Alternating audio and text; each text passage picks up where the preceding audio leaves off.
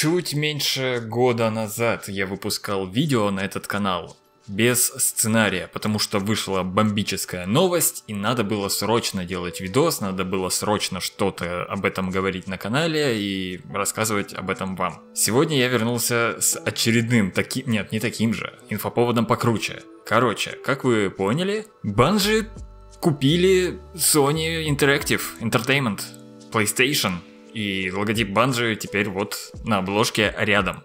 Что это значит? Заживем ли мы теперь, не заживем? Об этом коротко сейчас в этом видео я расскажу.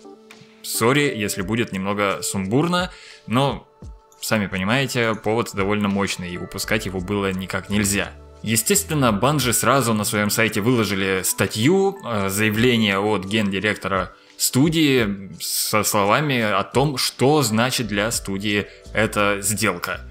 Студия верит, что игры это важный инструмент коммуникации, важный инструмент создания волшебных миров и, ну, в принципе, лирика, понятно. Это большой шаг для студии, они уже были когда-то у Microsoft, потом воссоединялись с Activision, и теперь вот Sony. Ну, кто-то скажет, что это для того, чтобы Фил Спенсер не успел тут подойти снова, но, ребят, сразу Хочу сказать, что такие сделки, знаете ли, за неделю не готовятся, они и за месяц не готовятся, так что, очевидно, этот вопрос назревал уже давно, и, напомню, Банжи не так относительно не так давно объявляли о том, что будут расширяться, это все, ну, долгосрочные были планы, и мы просто не могли о них и предполагать даже в смелых мечтах. Что особенно ценно в этом письме от гендиректора, это то, что все точки над «и» сразу расставлены. Нам ответили на самые животрепещущие вопросы.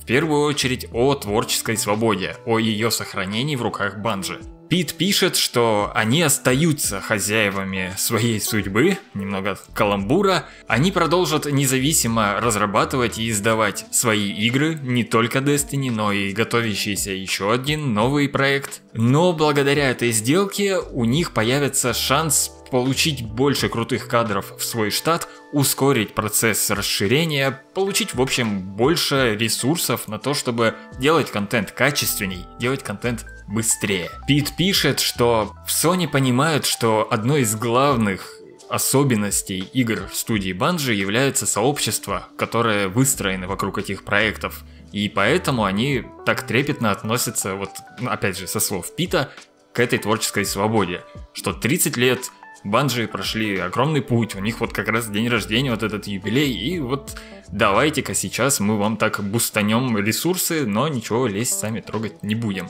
Это правильно, мы не узнаем, конечно, тонкости, и тут могут написать как угодно, а на самом деле какие-то там решения все равно будут приниматься коллегиально у них, но так или иначе на этом сделан основной акцент. Они даже вот такую небольшую табличку сделали, где отдельно заострили внимание на этом.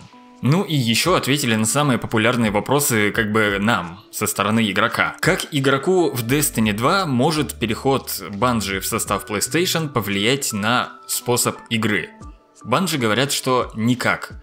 Их философия мультиплатформы для Destiny 2 как сохранялась, так и останется неизменной. Они хотят, чтобы играть в новое дополнение, например, Королеву Ведьму, мы могли на любой платформе, так как запланировали до этого. Появятся ли какие-то преимущества на платформе PlayStation для Destiny 2 с переходом Bungie? Тоже нет. Bungie оставляют тот же опыт для игроков, который сейчас есть. Будут ли изменены или затронуты какие-то обновления, сезоны, вот эта вся сезонная модель и так далее с переходом Bungie в PlayStation? Тоже нет, Bungie все сохраняет так, как было, полная творческая независимость и их планы на вот эту сагу света и тьмы останутся неизменными вплоть до Final Shape, финальной формы в 2024 году. Теперь, кстати, наверное, можно даже не бояться каких-то переносов, ведь ресурсы появились, можно, если что, где-то там и жару дать дополнительного. Будет ли Destiny 2 Королева Ведьма включать в себя какие-либо эксклюзивы для платформы PlayStation? Тоже нет, в Королеве Ведьме не будет никаких платформенных эксклюзивов, так что играете вы на ПК, на PlayStation или на Xbox, все как и было, ничего не меняется. Сторонние приложения, компаньоны, тот же Дим, ничего тоже тронуто не будет. Короче, все остается точно так же, как и было. Все будущие игры, которые сейчас в разработке у Банжи, более того, они тоже не будут эксклюзивами для PlayStation. Тут, конечно, возможно, есть некое лукавство, возможно, они будут временным эксклюзивом, потому что технически это не эксклюзив, но на месяц дадут эксклюзивом. Это уже нас, ну, немного не так интересует, как судьба именно судьбы.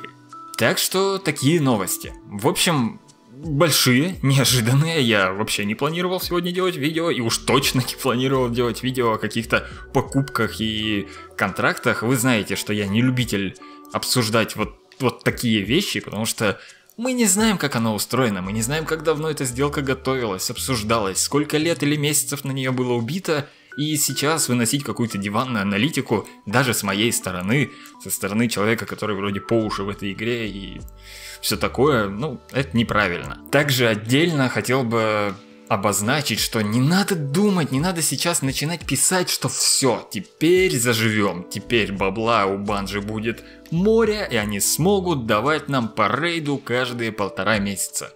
По волшебству ничего не происходит. Давайте наберемся терпения, будем следить за новостями, что там со стороны PlayStation будет, на разных выставках. В общем, держим руку на пульсе, я вам в этом помогу. Ну и пишите, что вы об этом думаете. Блин, я я не планировал покупать PlayStation 5. Хотя мне она сейчас все равно и не нужна. Вроде. Короче, баланс сохраняется.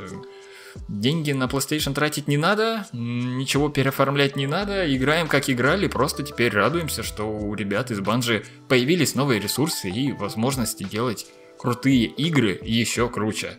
Поздравляю Банжи с этим и поздравляю PlayStation с пополнением. Интересное время, интересное время мы живем. Наблюдать, как кто первый схватит вкусную студию со стола, как горячий пирожок, тот и молодец. Чудеса.